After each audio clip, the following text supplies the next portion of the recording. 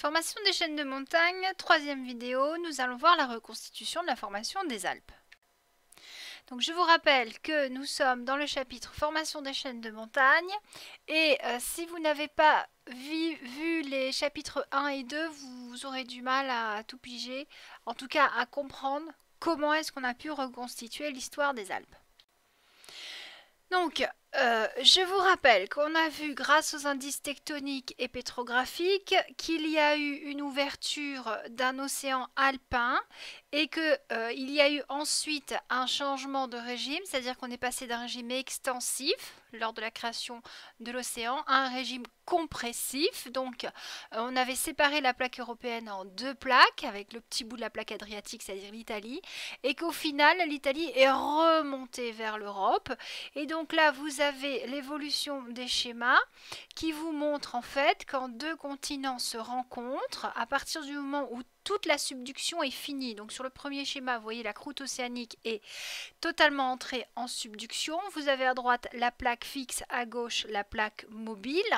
Donc ici, il n'y a pas d'orientation est-ouest, c'est un schéma général.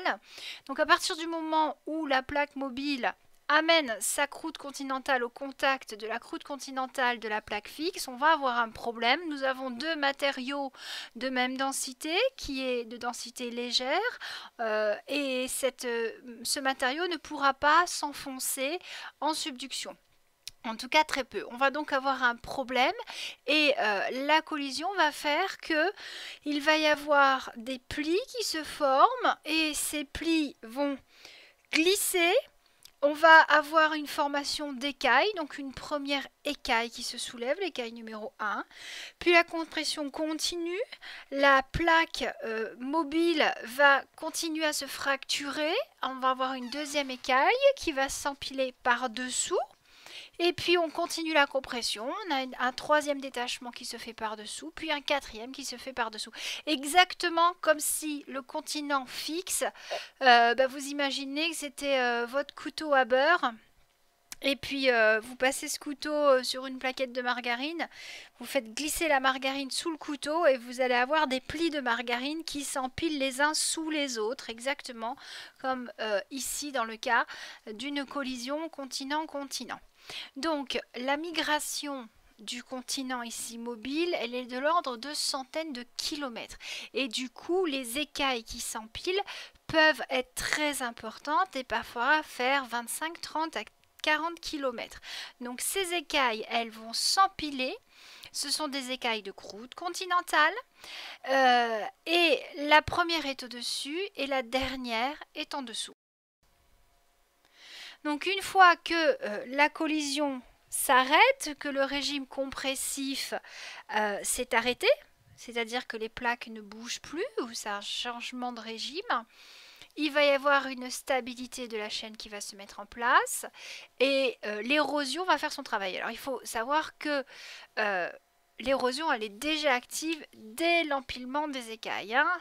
Donc à partir du moment où les écailles se forment, on a un relief soumis au vent, à la pluie, au soleil.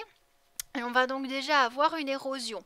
Et euh, les sédiments produits par l'érosion de cette chaîne euh, vont se déposer de part et d'autre de la chaîne. On parle de dépôts molassiques. Et euh, ces molasses sont très très lourdes euh, et elles vont provoquer un enfoncement des plaines avoisinantes. Donc ici sur le schéma à droite et à gauche. Et c'est le cas par exemple de Venise en Italie. Donc côté Italie, on a un énorme dépôt de sédiments de type molasse et sous le poids de ces sédiments, euh, la croûte s'enfonce et le niveau euh, de la croûte est tel qu'il est maintenant envahi par la mer. Donc Venise continue de s'enfoncer régulièrement. Donc l'érosion démarre avant même que la chaîne se stabilise.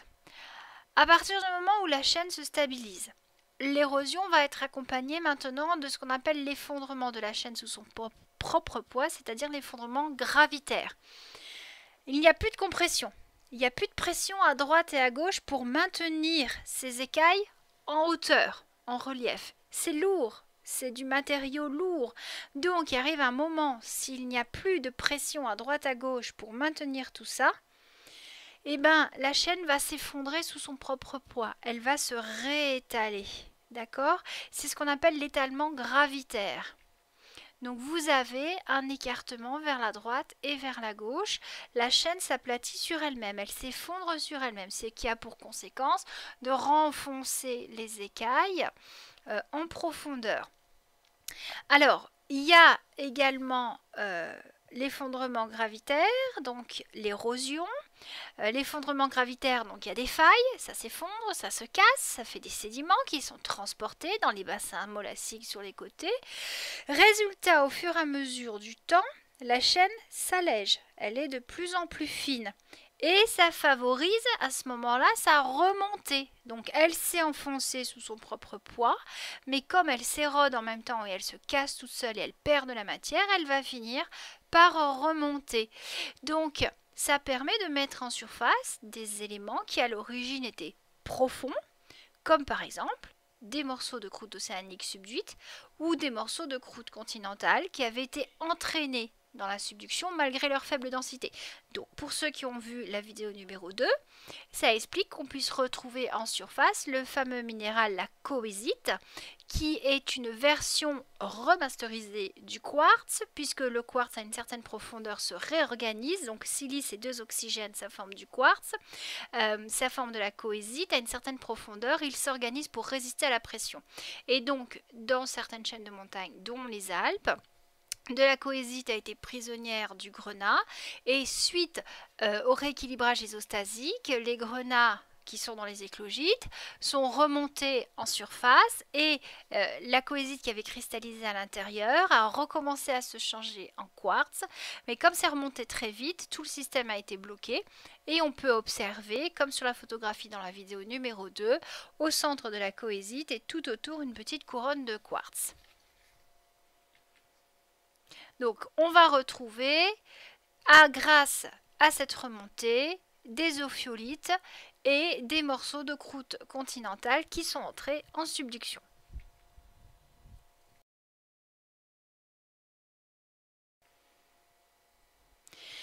Donc maintenant pour essayer de voir ça en 3D ce que ça donne, on appelle ça un bloc diagramme illustrant la formation des Alpes ici. Bon, on ne vous demandera pas de redessiner ça au bac mais c'est pour vous essayer de visualiser en 3D ce que ça donne. Donc, vous avez le premier dessin, ça reconstitue le bloc diagramme à l'origine. Vous avez la bordure continentale européenne à gauche, au centre le domaine océanique, à droite donc à l'est, la marge continentale sud-alpine.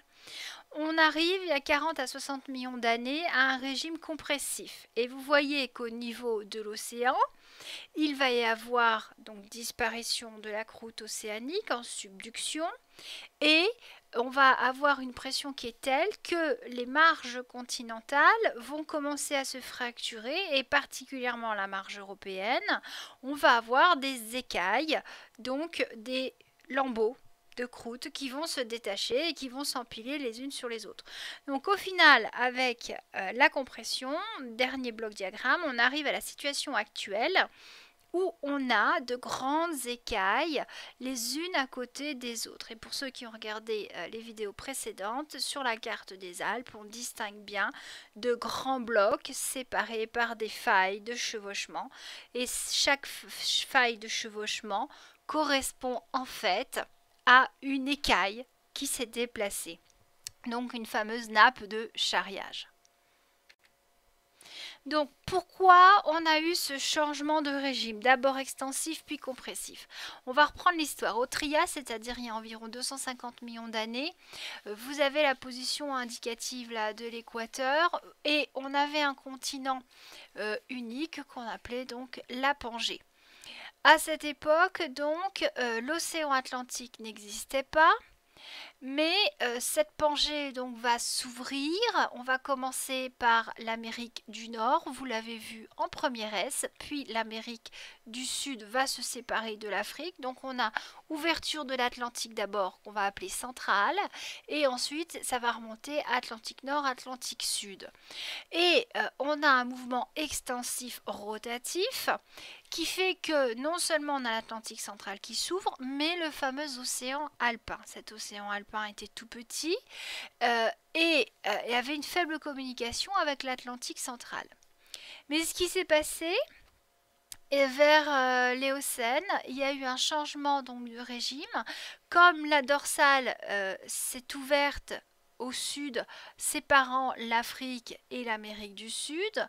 L'Afrique s'est à ce moment-là retrouvée repoussée vers l'est, mais pas de bol, au sud de l'Afrique, il y a une autre dorsale qui s'est ouverte. Donc l'Afrique s'est retrouvée à la fois poussée vers l'est et poussée vers le nord, ce qui a enclenché un mouvement rotatif de l'Afrique en direction du nord-est. Résultat, elle a poussé l'Italie et donc notre petit océan alpin s'est retrouvé fermé. On a la plaque adriatique qui fait partie d'un énorme bloc africain et la plaque adriatique donc est remontée euh, dans l'Europe. On a eu euh, en même temps euh, pivot de l'Espagne et l'Espagne est rentrée euh, dans la France pour à peu près la même raison, donc ouverture de l'Atlantique Nord. On a eu un, système de rotation qui fait que l'Espagne est rentrée et est à l'origine des Pyrénées. Donc à l'Éocène, fermeture du jeune océan alpin et donc collision des deux continents. On va maintenant reconstituer l'histoire de A à Z par des coupes. Alors, vous devriez être capable de dessiner à peu près ça au bac. Pas évident, hein Donc, une coupe ici schématique. Voici les couleurs. On va commencer par la plus grande profondeur, la sténosphère. Au-dessus, le manteau lithosphérique. Donc, je vous rappelle que sous la croûte, vous avez du manteau constitué de péridotite, mais la première partie du manteau qui est juste sous la croûte est rigide et arrivé à une certaine profondeur, on atteint les 1300 degrés. Je vous rappelle qu'on part de la surface et plus on s'enfonce, plus on augmente en température puisque dans le manteau il y a des éléments radioactifs qui chauffent. Et arrivé à une certaine profondeur, on atteint la température de 1300 degrés. Sur toute cette ligne de même température, 1300 degrés, qu'on va appeler l'isotherme 1300, à partir de cette ligne imaginaire, mais correspondant à une discontinuité thermique, on va avoir un début de fusion de la péridotite et donc une roche plus ou moins ductile. C'est ce qu'on appelle la sténosphère. Donc nous, on a un bloc rigide constitué de croûtes, européenne à gauche, africaine à droite, avec les sédiments du Trias de l'époque donc qui sont posés dessus. On a un bloc rigide, le vert clair et les deux croûtes. C'est la lithosphère.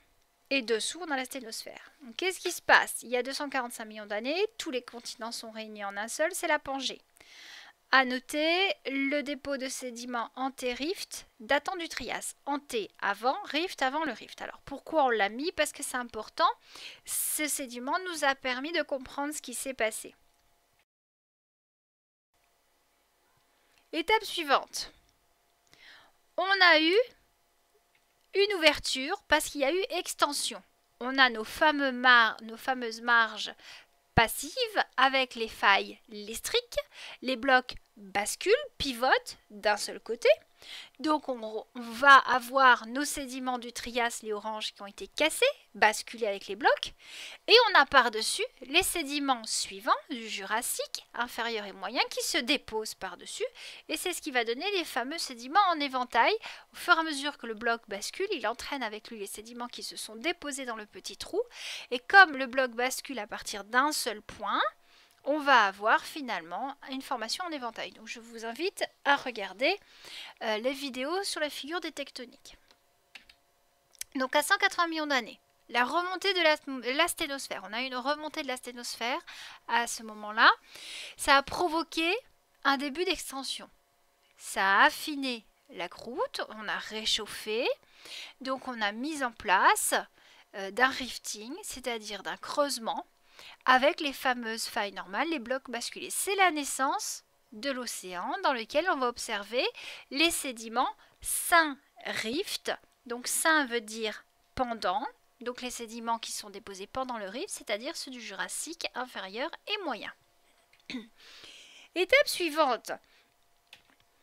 On continue l'extension. Cette fois, on a vraiment de la croûte océanique qui s'est formée. On continue à avoir des dépôts de sédiments. On arrive au Jurassique supérieur et au Crétacé. Donc à 140 millions d'années, l'océanisation, elle est complète parce qu'on a une croûte océanique. Donc là, on peut réellement parler d'océan parce que la dorsale s'est mise en route et on a une fabrication de croûte océanique. Et à ce moment-là, le rift en lui-même est terminé. Nous sommes en océan. Donc il va y avoir des sédiments post-rift, après rift, qui vont se déposer. Ce sont les sédiments bleu turquoise du Jurassique supérieur et du Crétacé. Étape suivante. On arrive cette fois en système compressif. Donc il y a 80 millions d'années, l'Afrique est repoussée vers l'Europe. Pourquoi? Parce qu'il y a naissance de l'océan Atlantique, spécifiquement le sud. Donc l'Afrique va être repoussée vers l'est, mais comme il y a la dorsale au sud de l'Afrique qui s'ouvre, l'Afrique va être repoussée également vers le nord. Donc on a un système de pivot de l'Afrique qui remonte vers l'Europe. À ce moment-là, on a subduction qui finit par une collision des deux continents. Bien sûr, qui dit subduction dit volcanisme. Donc la compression continue. Et cette fois, donc, depuis 30 millions d'années, euh, la subduction a disparu puisque l'océan s'est fermé et on a une collision de deux continents. Cette collision, on la repère par différents marqueurs. Bien sûr le relief, la racine crustale qu'on peut détecter grâce aux ondes, euh, les plis, les failles, les nappes de charriage, tous les indices dont on a parlé dans les vidéos 1 et 2. Il subsiste des marqueurs océaniques, les différentes ophiolites qu'on peut retrouver au Chenaillé, au Kéras, au Movisto. On va avoir les traces de blocs basculés, le taille-fer, la mûre, les grandes rousses, et on va avoir des sédiments de type marin. On va observer, de part et d'autre de la chaîne, des sédiments récents, post-collision, donc après la collision, ce sont les fameux dépôts molassiques qui alourdissent les bassins qui se trouvent autour de la chaîne de montagne. Parce que si on crée un épaississement crustal au niveau de la chaîne de montagne, si on a augmenté la matière, vous pensez bien qu'il y a une disparition de matière sur les côtés. Donc on a un léger amincissement sur les côtés et cet amincissement va se remplir par les sédiments provenant du relief on va avoir un rééquilibrage de tout ça. Donc une vision d'ensemble maintenant, euh, tirée du Belin. Donc nous avons euh, là cette fois un démarrage où on est déjà dans l'océan alpin. 150 euh, millions d'années, on a un océan alpin. Marge européenne à gauche, marge africaine à droite. 70-60 millions d'années, subduction, le prisme d'accrétion se forme, on a les métagabros euh, qui se forment, les éclogites, etc. 45 à 50 millions d'années, on a fermé l'océan alpin, on est toujours en régime compressif, le prisme d'accrétion se retrouve coincé, il reste un lambeau d'eau fiolite, donc de croûte océanique. On va continuer la compression, on va avoir d'énormes nappes de charriage, les fameuses écailles qui se détachent et qui glissent, et remonter en surface des restes d'ophiolite et euh, de prismes d'accrétion.